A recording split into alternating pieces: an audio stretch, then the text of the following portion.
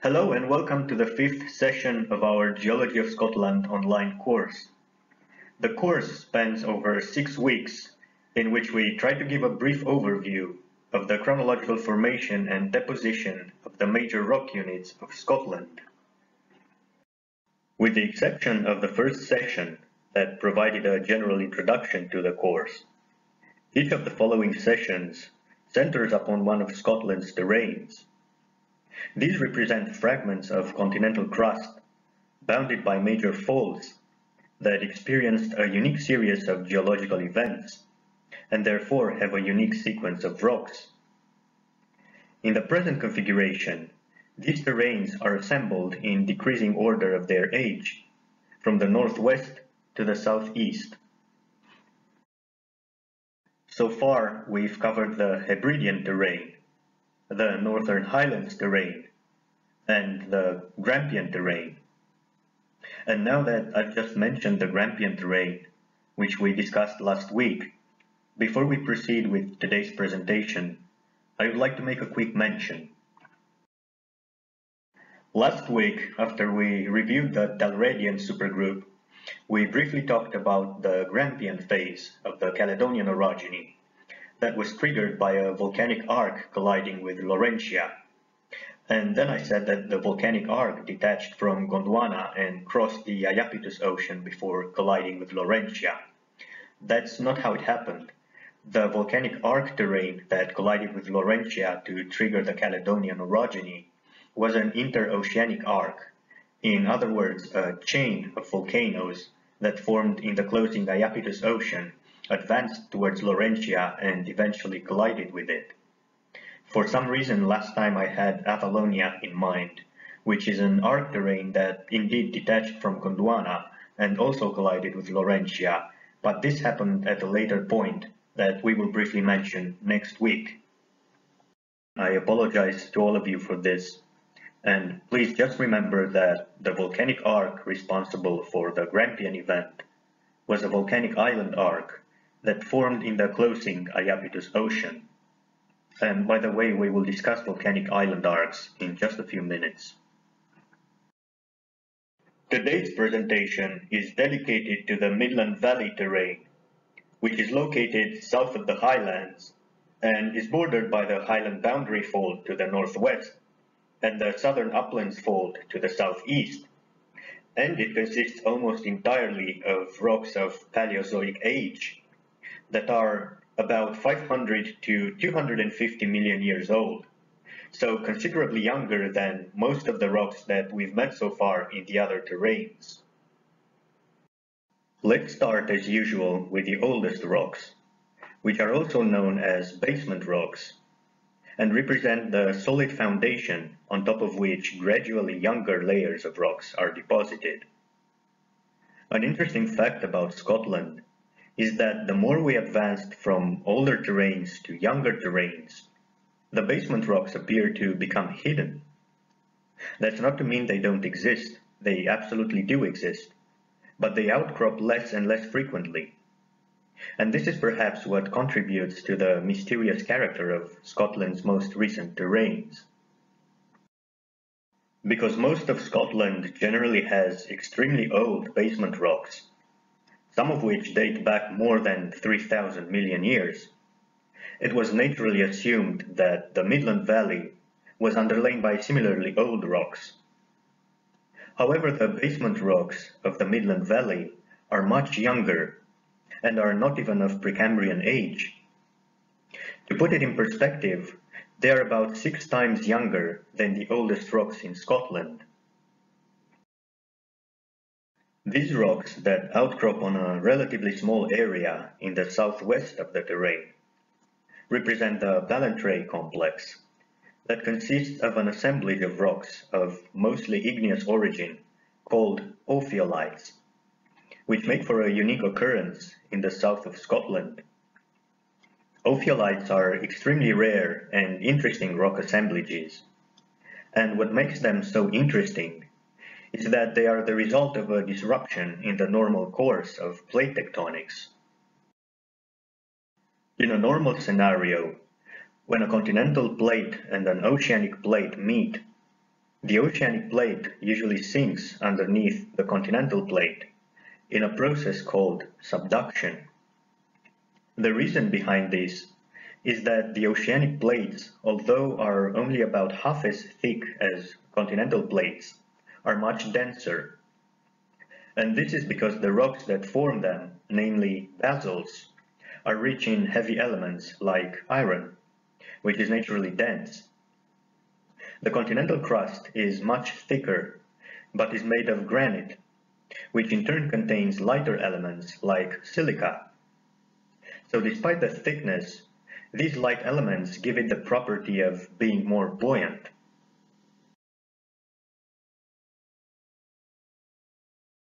However, sometimes in the process of subduction, a fragment of the oceanic plate becomes trapped and thrust onto the continental plate. This process is called obduction and results into an ophiolite.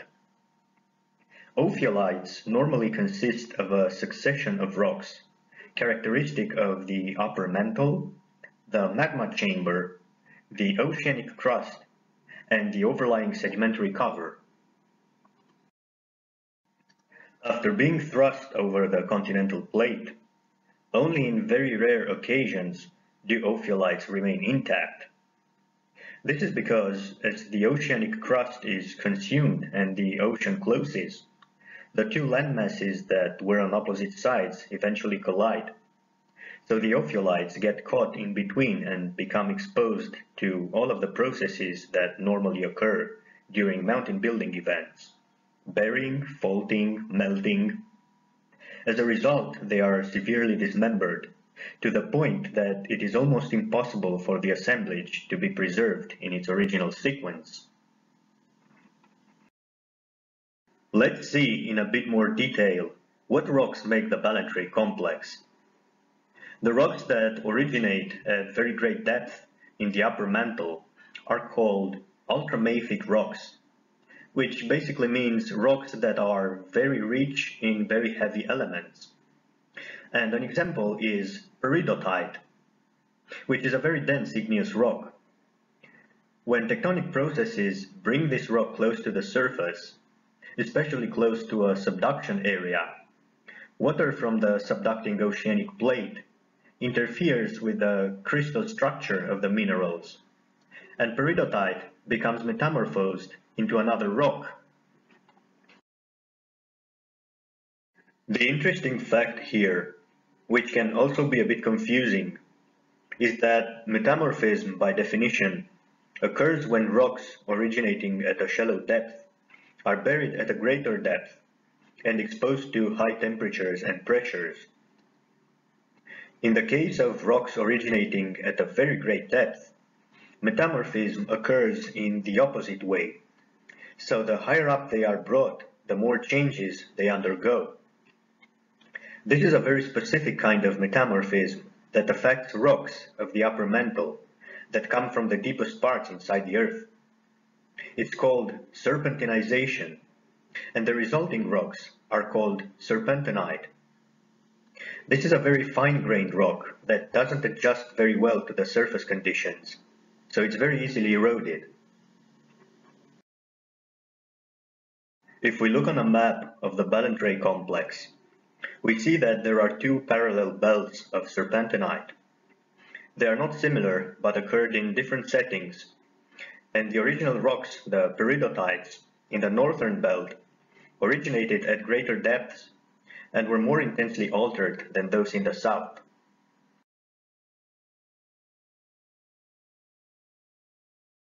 The next rocks that we would meet in a normal sequence of an ophiolite are the magmatic intrusions. They mostly represent the ancient magma chamber and its additional network of smaller intrusive bodies that acted like a piping system and provided magma with a way of reaching the surface. The magma chamber is usually represented by gabbros, an igneous rock with large grains, while the network of smaller bodies is made of rocks that represent a transition between the coarse-grained gabbros and the fine-grained basalts that erupt at the surface. And this rock is called diabase. However, if we look on the map again, the remnants of these magmatic intrusions are poorly represented and appear as small patches scattered across the area.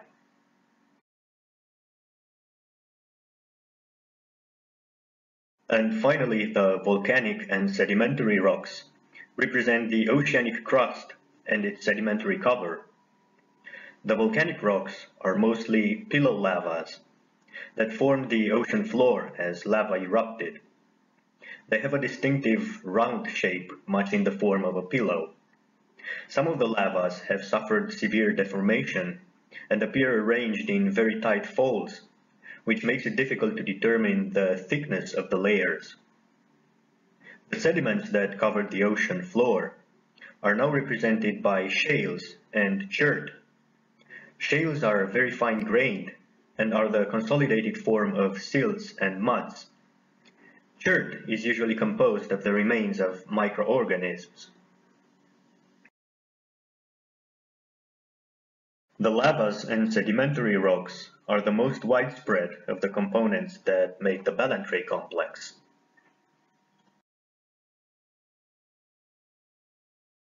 The Ballantrae complex originated in different tectonic settings, but is mostly associated with volcanic island arcs.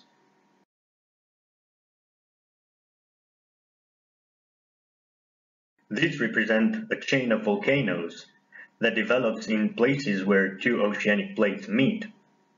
When this happens, the older plate, which is heavier, subducts underneath the younger plate, which is lighter.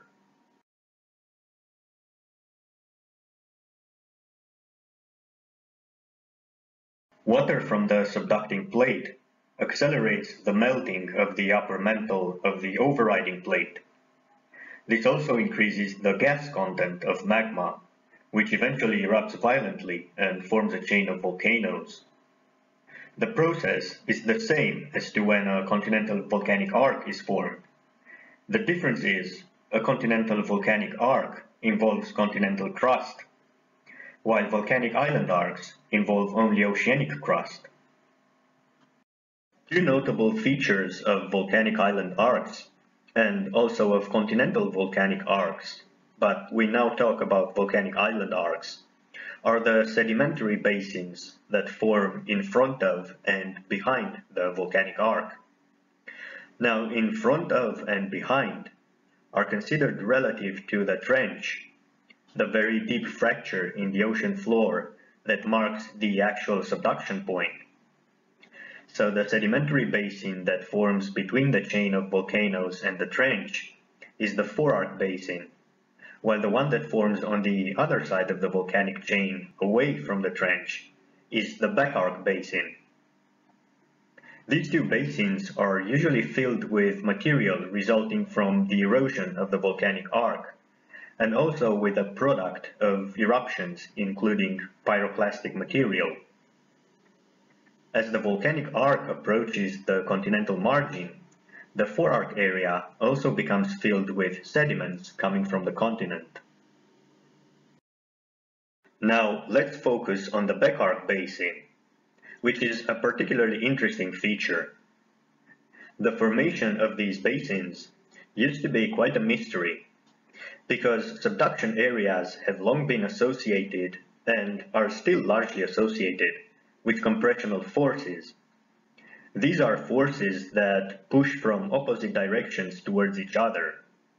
And indeed, this is the kind of force that is responsible for subductions. But as the subducting plate sinks, the edge of the overriding plate is pulled forward and downwards at a higher rate, which creates a lot of tension. So, as the crust underlying the volcanic arc is stretched and thinned, the backarc basin forms.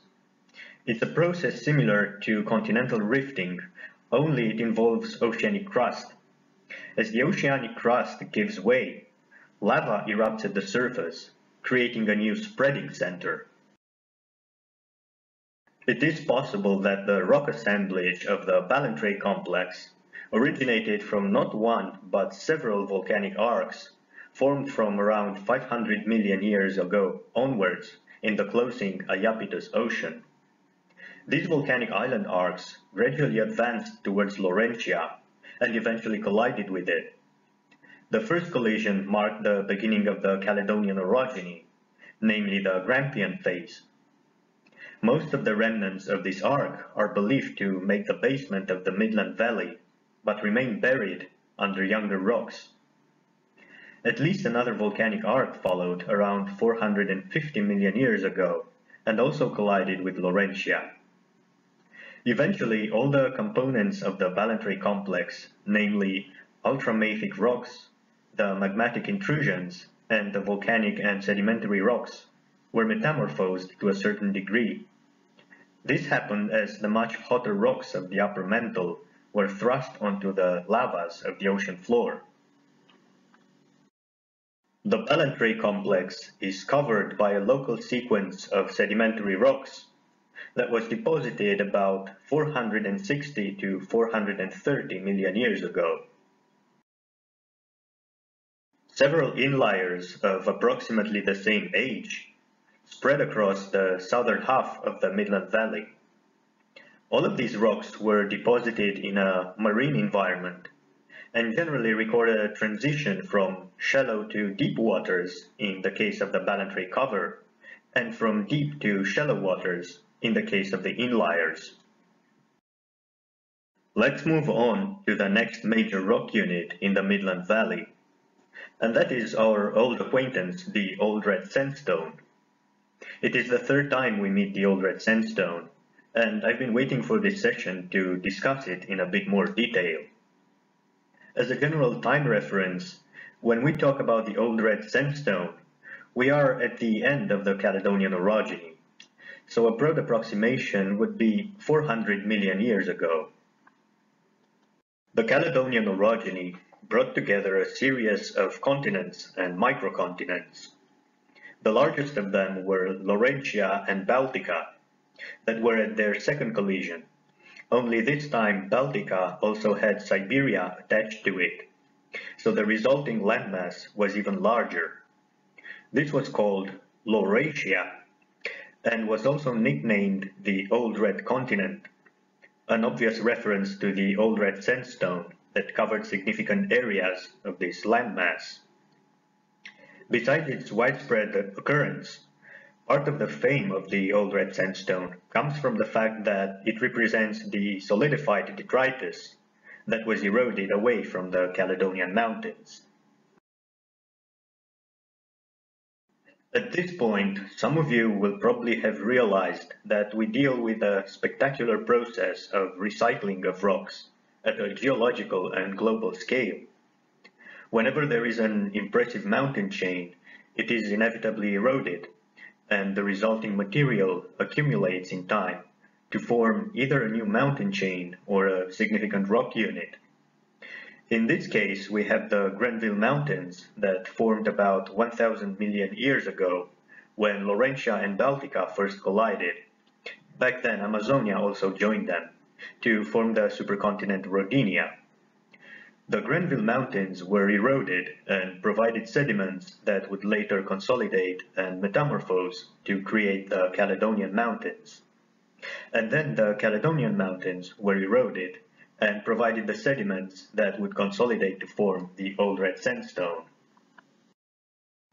The name Old Red Sandstone is a bit deceptive in that although sandstones prevail, it is made of a whole range of sedimentary rocks, from conglomerates to sandstones and mudstones, sometimes intercalated with volcanic rocks. The sediments were deposited into a series of basins throughout the Old Red Continent and can now be encountered throughout the North Atlantic region from Canada and Greenland to Scotland and Scandinavia. In Scotland, the Old Red Sandstone was deposited in three major basins, characterized by different depositional environments. The Orcadian Basin, located in the northeast of Scotland, was filled with sediments deposited into a large freshwater lake. The other two basins, Strathmore and Lanark, are both located in the Midland Valley and contain sediments of largely fluvial origin. The Strathmore Basin lies to the north.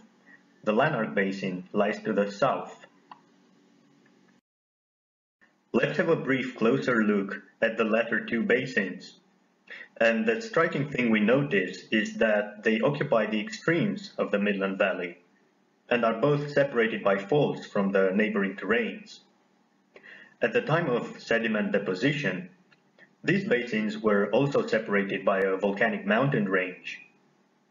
During the Caledonian orogeny, the highland boundary fault and the southern uplands fault were active and moved laterally. As the neighboring terranes were uplifted, the Midland Valley was sinking. This gives it the typical aspect of a graben.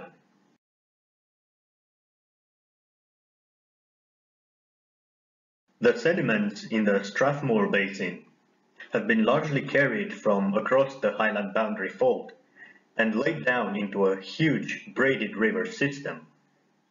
Although this image is not from Scotland, the initial deposition of the Old Red Sandstone occurred in a similar setting. The earliest sediments were sandstones and conglomerates.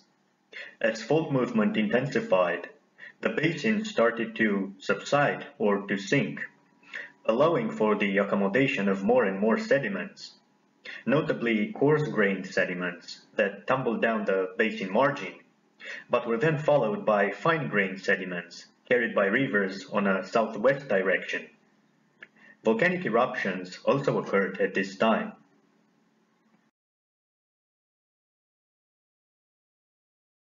The deposits of the Lanark Basin are considerably smaller than those of the Strathmore Basin. They are also less compact and very faulted, so they appear almost as isolated outcrops. Much like the deposits of the Strathmore Basin, the sediments here also range from coarse-grained to fine-grained, and were also carried by a network of rivers flowing towards the southwest. Volcanic rocks and layers of lava appear interspersed throughout. The deposition of the Old Red Sandstone in the Midland Valley is marked by a major unconformity.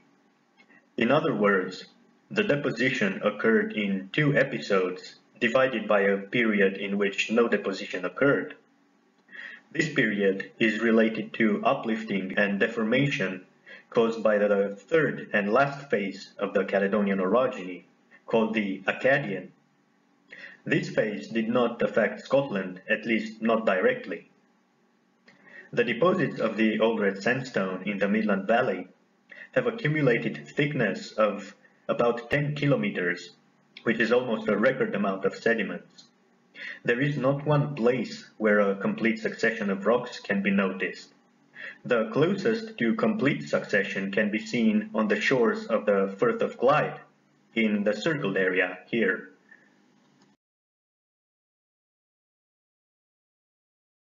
This is a picture of the Stonehaven area, which is located at the northeastern tip of the Midland Valley, very close to the Highland Boundary Fault. That's the oldest of the Old Red Sandstone that was deposited in the Midland Valley.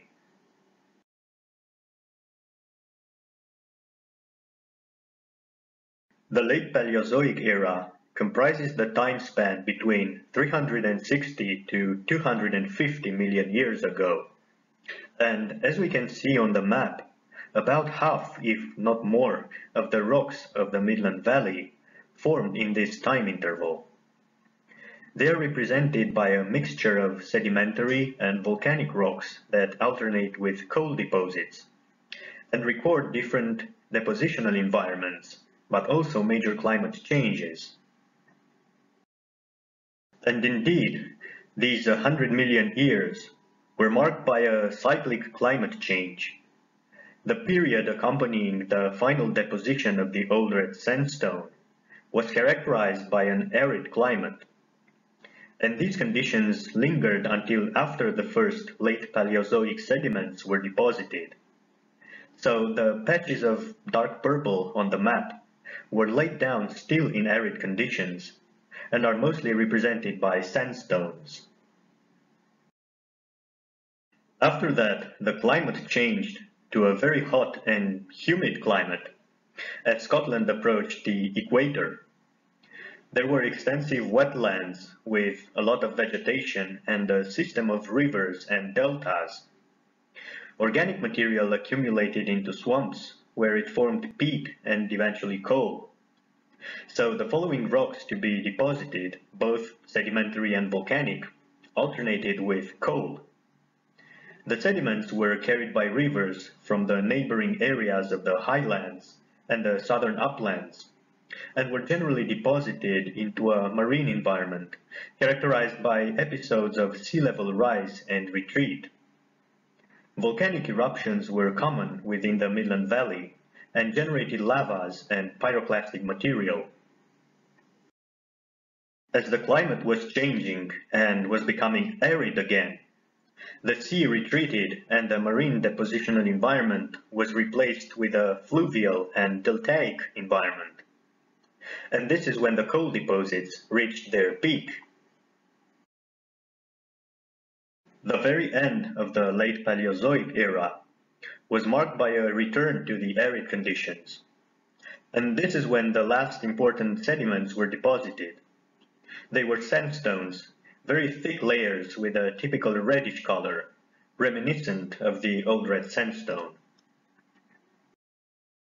Now that we reviewed the major rock units of the Midland Valley, we can draw a few conclusions.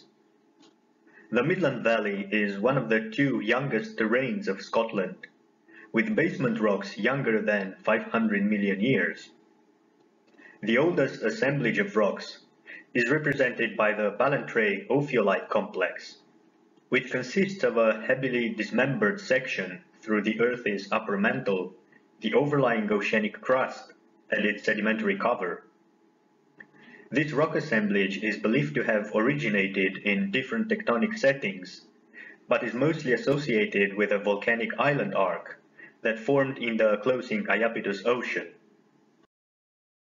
The Ballantrae complex is covered by a local sequence of sedimentary rocks of marine origin and early Paleozoic age and similar inliers also outcrop along the southern Midland Valley. The next chronological unit is the Old Red Sandstone that consists of very thick layers of sedimentary and volcanic rocks deposited in two marginal basins. The Old Red Sandstone was followed by the late Paleozoic deposits, represented by sedimentary and volcanic rocks and coal that formed in a diversity of environments from arid to equatorial. The more recent deposits of the Mesozoic and Cenozoic eras are almost insignificant. The Mesozoic rocks outcrop on the Isle of Arran, and the Cenozoic units are represented by igneous intrusions. Finally, we notice on the map a multitude of small areas in different hues of red. Those are all magmatic intrusions. The dark red ones date back from the Caledonian orogeny, an event that, as we will see next time, marked the assemblage of the British Isles. The bright red areas, which make the majority, are related to the Variscan orogeny that accompanied the formation of the supercontinent Pangaea. And the light red ones that we mostly see on the Isle of Arran are part of the Hebridean Igneous Province and were emplaced during the opening of the North Atlantic Ocean. And here we are at the end of today's presentation. Thank you very much for watching and listening, and see you next week for our last section.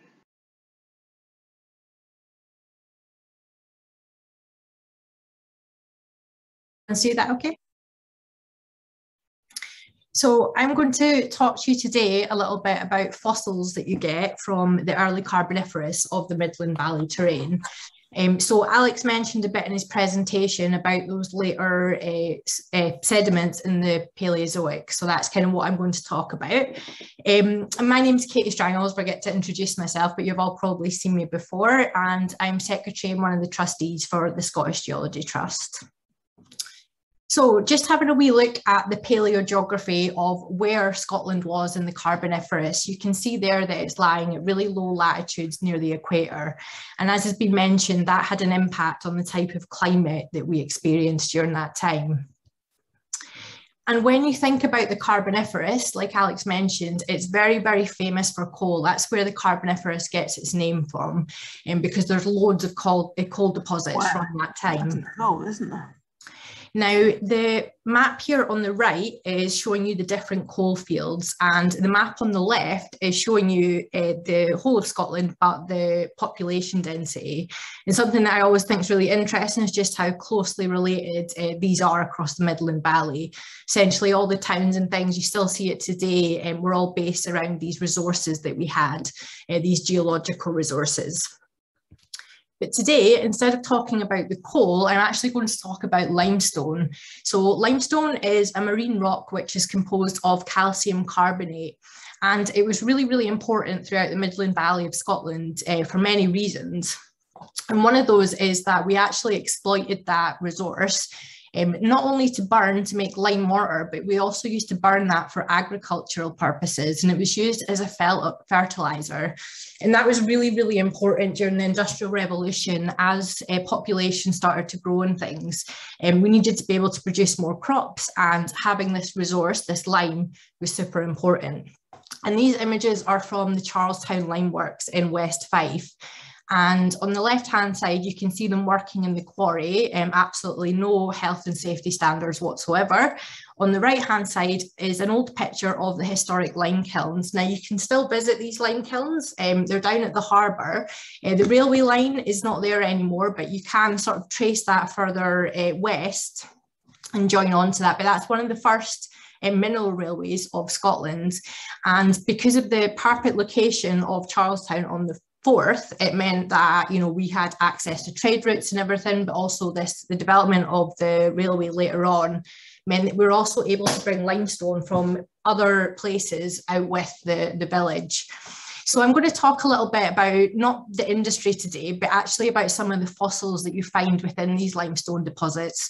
And one of the great things about the Carboniferous and the fact that we utilised a lot of these resources means that we actually have quite a lot of knowledge on the different fossils and the different types of animals and plants that lived throughout that time. But today I'm going to focus mainly on the marine limestones. So before I go into the Carboniferous limestones from about 330 million years ago, uh, this is a modern coral and this is from the Great Barrier Reef and the photo is from the uh, Natural History Museum in London. Now, when you think of reef environments like this, you quite rightly think of tropical oceans warmer climates. And when the sea level rose in the Carboniferous, because we were closer to the equator, we did at times experience these really humid climates. But the coral reefs that we had back in the Carboniferous are very different to what we know today. Um, but we do know now that you do get coral reefs in cold waters as well. So uh, they don't just occur in these warm environments, but they are very important uh, throughout geological time.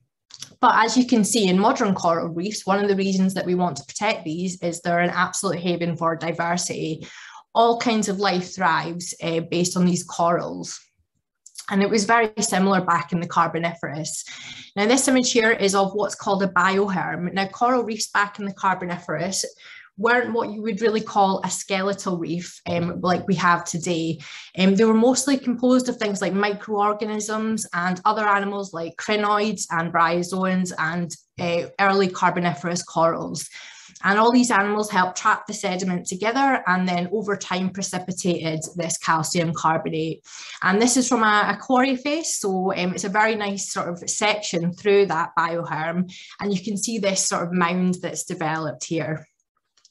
And within these rocks, you find such a diverse uh, fossil assemblage. So one of my favourite things is crinoidal limestone. So a lot of our limestones in the Central Belt are composed primarily of crinoids, um, more specifically the stems of crinoids. Now crinoids are sea lilies, um, but they're actually animals, not plants but they get called sea lilies because these ones from the early Paleozoic used to have stalks which attached to the sea floor.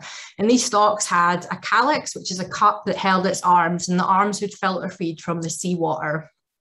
But when they died and got broken up by water currents and predated on and other things, they were very, very fragile, which means normally in the fossil record, what we tend to see is just these absolute jumbles of bits of stem fragments. You do sometimes find uh, bits of cup or calyx, which are really important helping us identify the crinoids, um, but it creates this very, very beautiful uh, limestone. But what you can also see in these little bits of rock here are these sort of mat-like things, and these are known as bryozoans, which also get called sea mats. And these are actually still alive today, but so are crinoids, um, although stocked crinoids tend to live in deeper water and are a lot less common. So during the uh, Carboniferous period, particularly the Viséan in Scotland, um, which this limestone is from, we had um, a very, very high diversity of crinoids. And um, these bryozoans or sea mats uh, that are still around today, you actually see them if you go to the beach and have a look on shells that are washed up, uh, bits of seaweed, just other hard bits of material, you'll find that these uh, bryozoans like to cling on to them. And these rocks are about 330 million years old, and you can just see how amazing that preservation is. You're really just looking at a snapshot uh, back in time there. And we also have um, these colonial rugose corals here, which um, the left sample is from uh, the limestone in West Fife here, and the right-hand side is from East Lothian. Now, these colonial corals um, would have lived and there would have been one little animal in each of the uh, coral tubes here and they would have sort of grown together and you would have found other animals in amongst there as well. So sometimes you have solitary corals, but the reason these are colonial is because there would have been, you know, hundreds of thousands of animals living within these structures. And these are quite important because these coral horizons in the early Carboniferous limestones aren't particularly abundant. So that means we can actually look for these layers in the rock and that tells us where we are in the formation, which is, is very useful when you're out and about looking at rocks.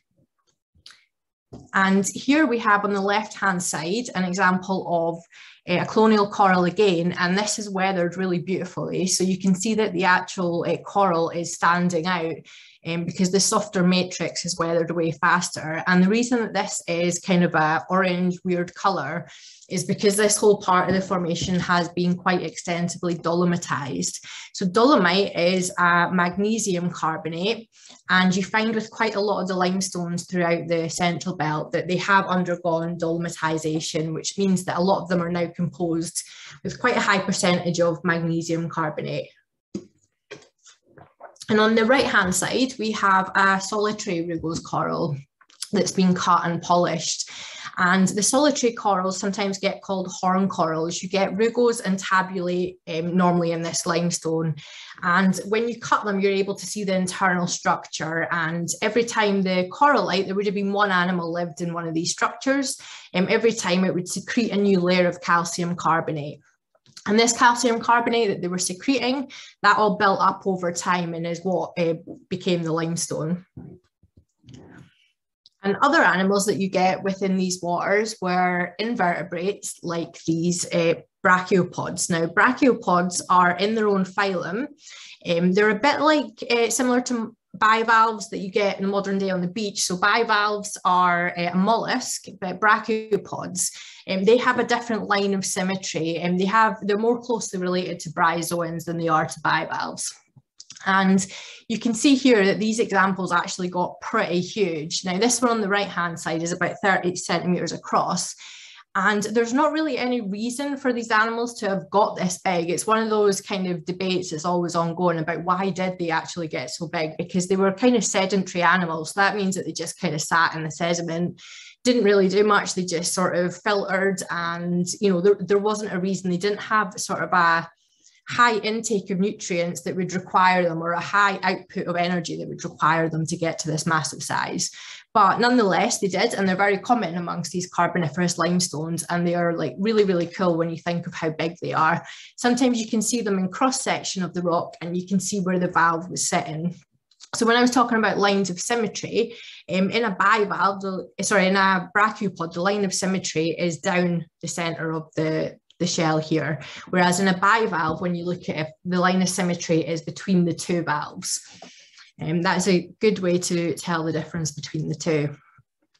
This image here is a reconstruction of an early Carboniferous tropical sea. So kind of what I was talking about with these coral reefs, you can see in the bottom, and um, they look very different to what we sort of know today as a coral reef, but these environments were secreting this calcium carbonate, these animals, which built up over time.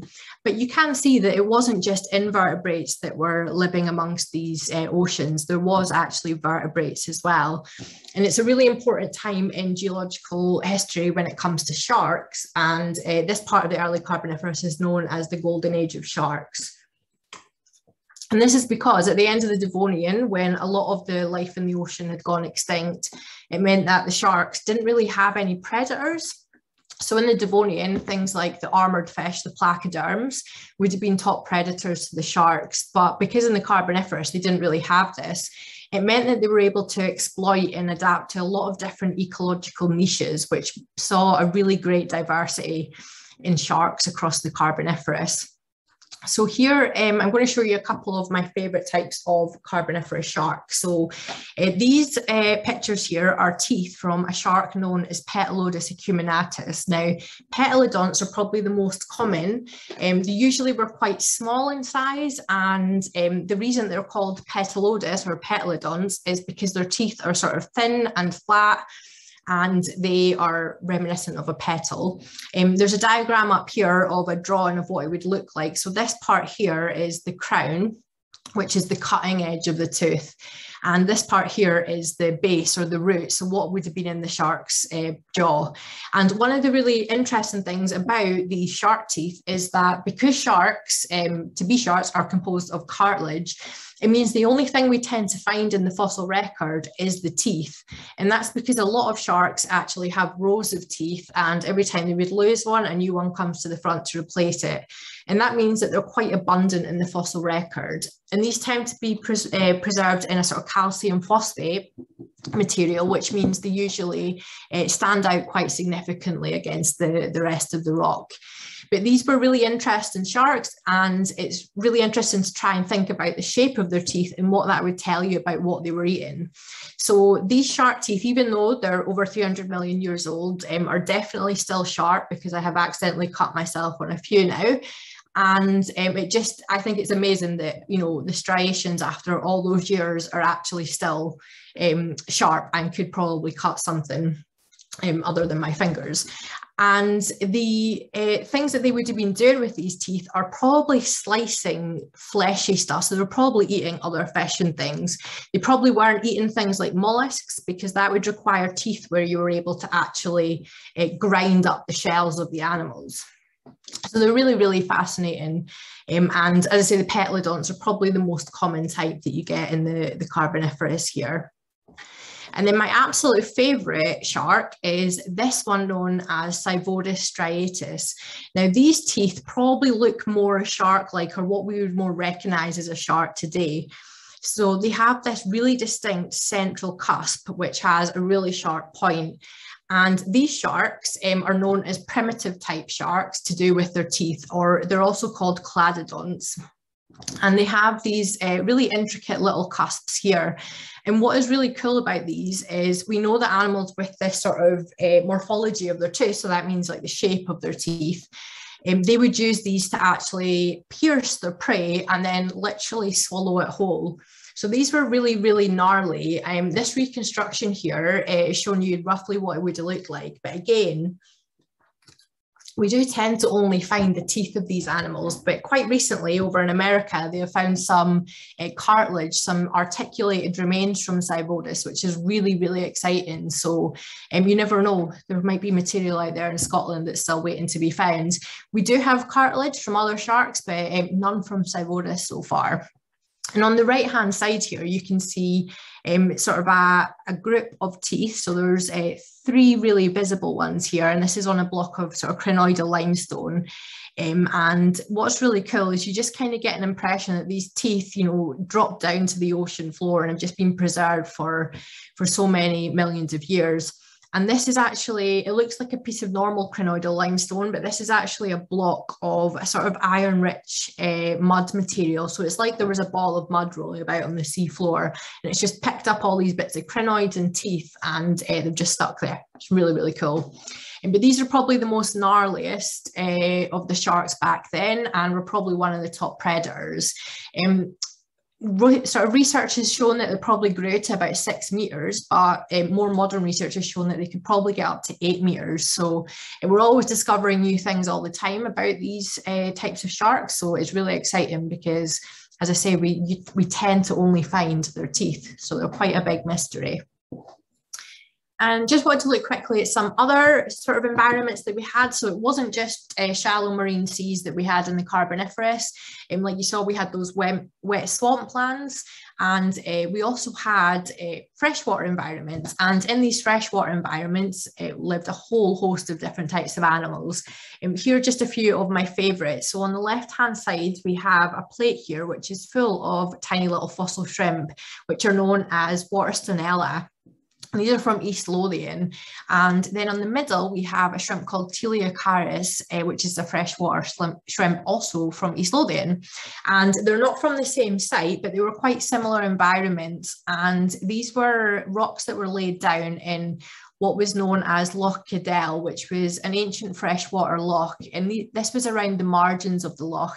And because of the conditions, the environment there, there would have been quite a lot of uh, carbonate in there, but there would have been very low oxygen conditions at times, which allowed this exceptional preservation um, within these, these formations.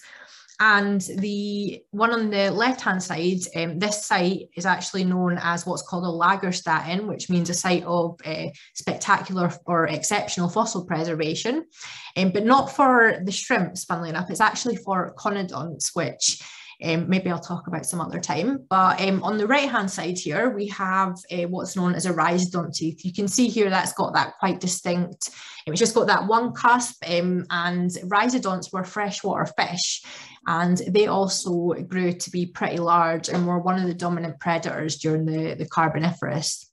And this is a reconstruction here.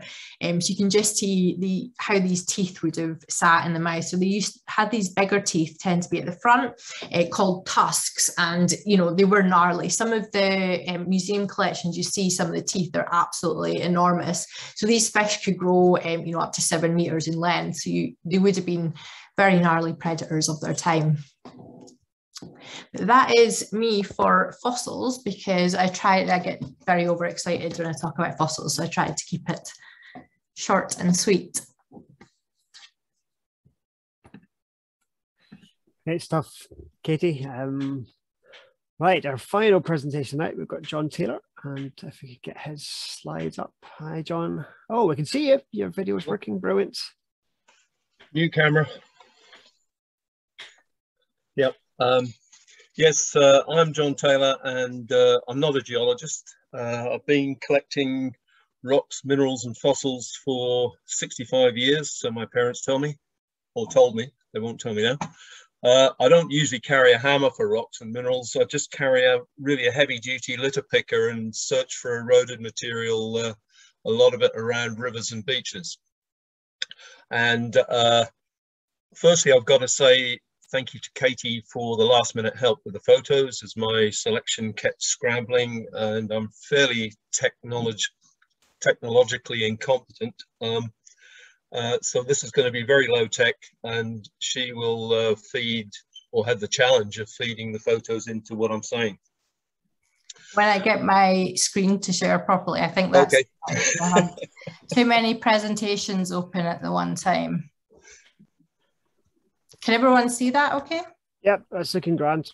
Cool. Okay, so if uh, we start with uh, the, the, first map, which is uh, uh, the one that you've been looking at previously from Alex's, so uh, the Midland Valley here, and uh, what I've done is chosen three quite different areas across the Midland Valley.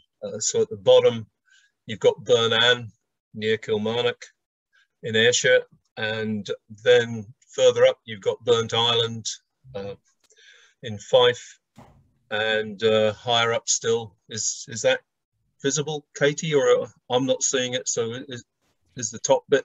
Yeah, we're, not we're seem to be sure. some display problems. Um, try yeah, there's a few, maybe, maybe some boxes appearing on top. Try again. It worked fine the Oh. first time. Yeah. Yeah, I think I've maybe just got too much open. I will try closing the presentation and open it again.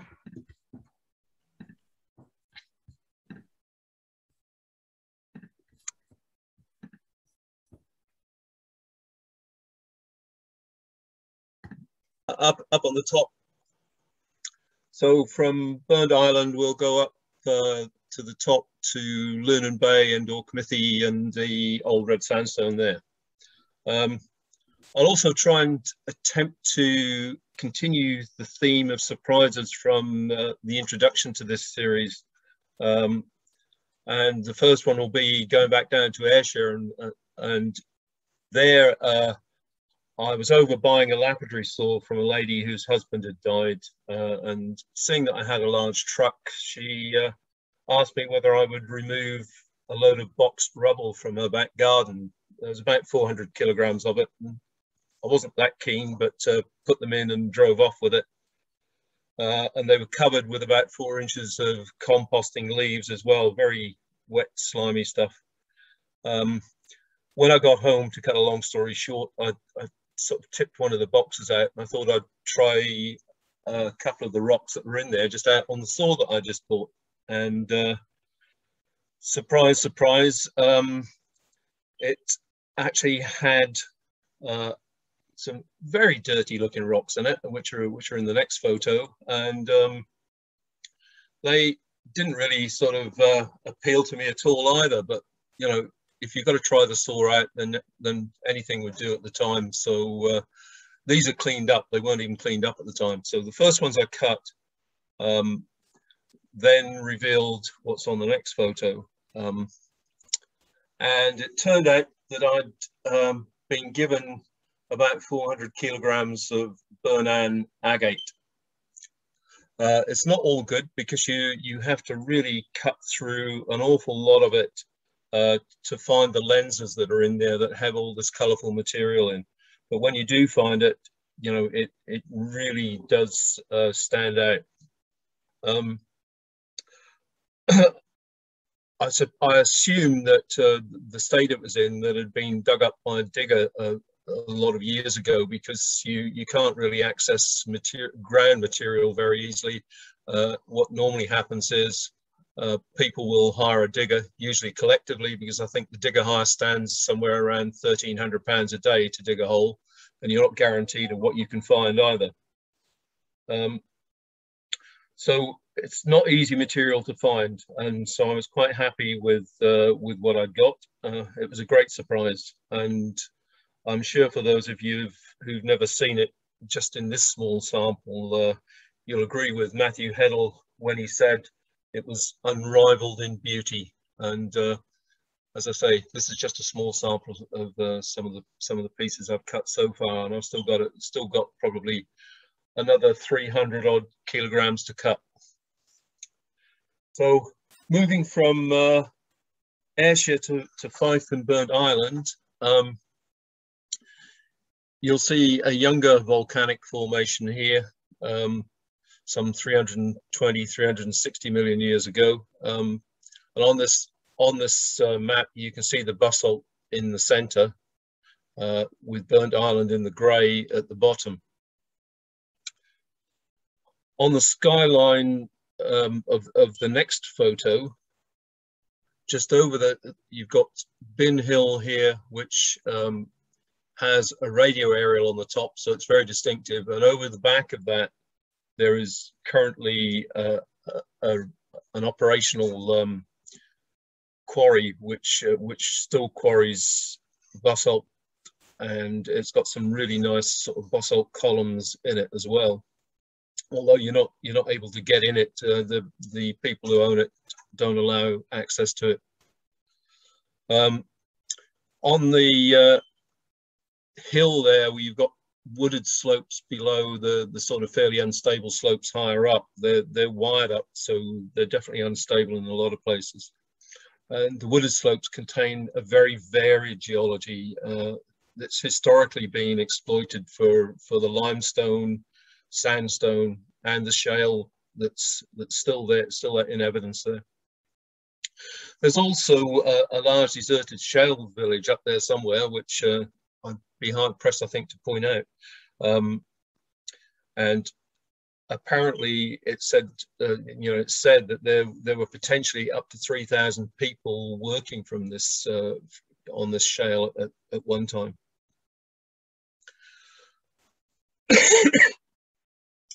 There's lots of erosion all around the hill and lots of quarry debris from from all these different quarries that that have that have been working there at different times and um, where the basalt erodes uh, treasures can be found further down on the beach which is probably to the well to the left of uh, of this photograph uh, under the sea there are the the basalt tuff uh, contains a lot of calcite veins and quite long ones as well.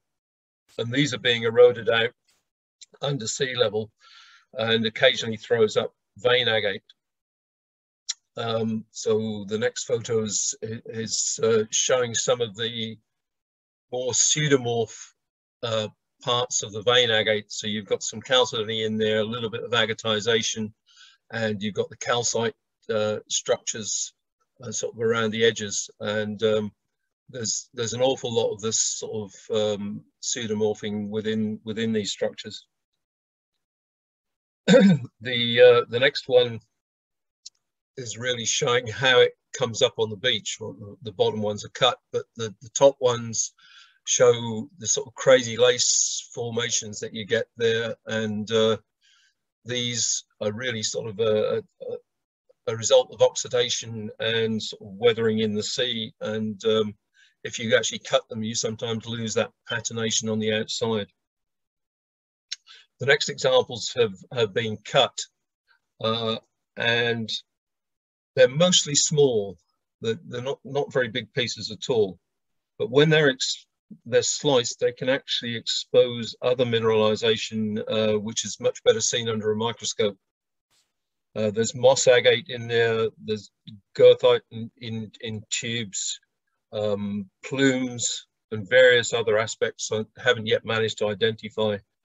Um, under UV light, the, the, the next two photos are under UV light. You'll, you'll get this really standout pink color, sometimes a lot stronger than this piece.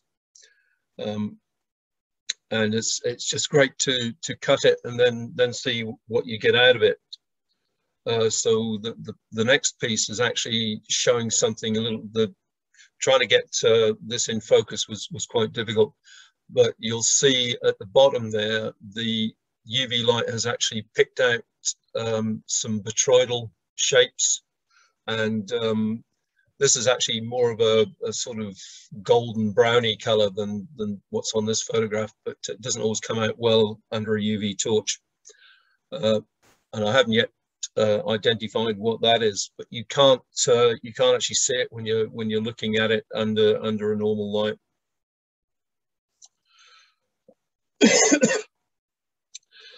So uh, the next one is quite uh, a unique one amongst all the ones that I've found. I've never found one that's had pyrite cubes in like this. Um, and they are, some of them look a bit squashed, but they are quite cubic. And um, so that that's a, that's a very unusual one. And the, the, the pluming, if you look at it under a microscope, is, is sort of in the depth at the back of the pyrite. The next piece is from the slopes of the hill. So um, where you've got small areas of crumbly lava, uh, it's, it's often got uh, amygdaloidal sort of calcite amygdaloids in, in, the, uh, in this lava where it is very, very crumbly. And uh, occasionally you'll find signs of other things, but just on one day I found about 20 pieces uh, of, of these clusters here. And uh, they're, they're calcite and quartz primarily. and the quartz is covered in dots of goethite and uh, there are a nice honey quartz, small honey quartzes in, uh, sorry, calcites in there and rhombohedral calcites like the one that's completely on the on the right hand side that's probably the biggest one i found. Lots of smaller ones. And um, pseudo dodeca sorry i'll get this right. Pseudo dodecahedral calcites on there as well. Um, and in the next photo uh, just one cluster there, there are more more um, than just these two here, but uh, there was one cluster of, of double terminated quartz crystals, which actually uh, very difficult to photograph, and you can see there's there's there's goethite on there as well. So uh, I think I'll move on to Lunan Bay now, and Lunan Bay has quite an sort of an iconic view of Red Castle up at, up on the top there and uh, there's a buttress on the end that hangs over. So every time I go, I take a photograph because I'm expecting the, the whole bit of the, the wall to fall off one of these days into the river. Um, the, ri the river itself um, crosses the beach and sort of washes generally uh, the sand off, off the gravel that's underneath. And what most people don't realize is that below a thin layer of sand are millions of pebbles and cobbles, uh, the recycled rocks that Alex mentioned. Uh, eroded, these are all eroded from the sandstone conglomerates and normally you only get them revealed uh, on sort of when the, the river has washed out the sand or the sea has washed the sand off the riverbed. There are a few other uh, gravel beds that get exposed occasionally as well during the winter, but just at the moment there's more sand and certainly uh, than I've ever seen before, so not very much stone in evidence. And uh, sort of further down the, towards the south of the beach, there, there is often a, a good gravel bed there. And what you find on these gravel beds are not just the the, the cobbles that uh, that you find uh, along this this this whole sandstone a lot of sandstone cliffs, but you also find agates, which are in in the next photo uh, are that's sort of a, a, fairly good selection there. Although most of what will be found will be the the, the grey waterline or onyx agates. Um, that's a very common occurrence for the agates in this particular area. But uh, very occasionally, you know, you find something that's that's just a little bit different. And uh, the the next one is was in the main photo, but the next one, next photo, uh, is one that was very very different. And quite how that one formed, if you take the the water lines that are on there as being sort of the level at which they were deposited or the level at which they built up. There's lots of different planes that have changed there throughout this, this whole agate formation and uh, individual agates in, in each one of the sections. Unfortunately, uh, the beach pebble event up at uh, Lunan the other weekend, I lost the other half of this one in the sand. Um, so it's there for somebody to pick up if, if you want to go and look for it. uh, moving on to uh, Auchmithie, uh, we had a two-day beach, beach pebble event at Auchmithie. Um, that's just a little bit south down the coast from Lunan, just around the corner of the of the cliffs a bit. And uh, it's got stunning geology there. Uh, and I haven't put up photographs of a, a lot of the uh, lot of the really nice uh, sea caves, arches, cliffs, the whole rugged shore, shoreline that's there. It really does have some some stunning scenery. It has some of the best concentration of examples of the conglomerate cobbles uh, in one small beach, I think. It was certainly great for the uh, the beach pebble event for the festival, and uh, we had geologists up in the hall who were giving two talks on each of the days, and uh, people uh, who couldn't get into the hall because it's packed out were coming down on the beach to us. And after the after they'd finished the talks, uh, which was this this was while a talk was going on up up the, the top, so uh, not quite so many people. When they came down, I think we were quite busy, but uh, they were searching and having their samples identified. Um, and the next picture sort of gives you uh, an idea of what the cobbles are like in situ and they don't really give much away. You can't uh, tell very easily what the different sorts of stone is and there's a huge range in there somewhere.